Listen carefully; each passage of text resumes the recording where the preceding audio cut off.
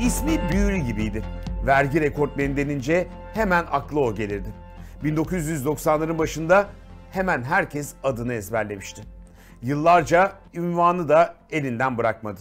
Nasıl oluyor da onca sanayici ve holding patronu arasından sıyrılıp vergi rekortmeni o oluyordu. Tek başına Şişli'de bir apartman dairesinde yaşayan, sabahları işe gitmeden, devlet ihalesi almadan, ihracat yapmadan en çok vergi ödeyen bu gizemli kadın kimdi? 1992 yılında Ayşe Arman 32. günde ekrana çıkartana kadar neredeyse yüzünü gören bile olmamıştı.